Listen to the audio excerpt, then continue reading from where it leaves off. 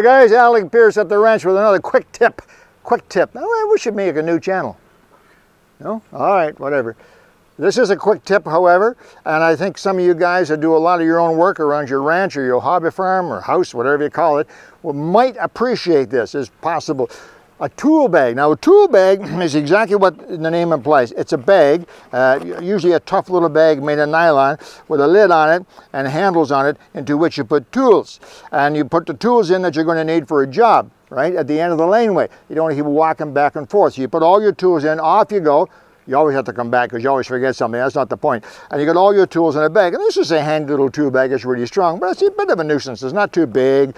And the handles, you got to put them together. Zipper, zippers just don't work on tool bags. And it doesn't take any big tools. So I use this occasion, but not very often. I got a bigger one.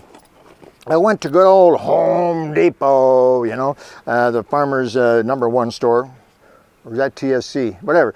Um, and I got this bag, much bigger, for bigger tools. And this is pretty good. This is pretty, again, it has two handles, which is, and a zipper. Zippers around ranches, you know, they just don't cut it. So, so I've used this a few times, and it's worked pretty well for me. However, a little while ago, I discovered the ultimate tool bag. It's fantastic. I don't know why I didn't think of it before. A hundred years ago, or roughly, I was a commercial diver and I used one of these tool bags. It's a commercial diver's tool bag. It looks like this. It's very, very heavy canvas.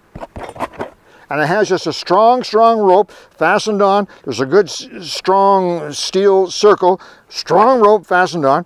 It has a drain in the bottom. And the bottom itself is this very, very hard plastic bottom. So it's tough. You can drop it. It doesn't tear. Easy to carry. You just pick it up and carry it. No handles, no zippers, nothing. And it carries everything. Pipe wrench. Two and a half pound sledge.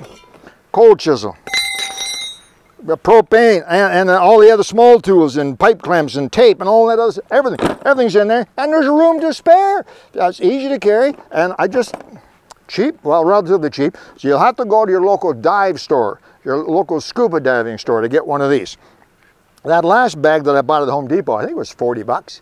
Uh, stupid, but I paid 40 bucks for, I think these would be about the same, 40, 50 dollars, and you will get what I call the absolutely ultimate perfect tool bag for working around the ranch. You can drop it anywhere if it gets dirty, if it gets if it gets manure on it or wet, doesn't matter. Dries instantly. You carry all the tools you need for a day of working.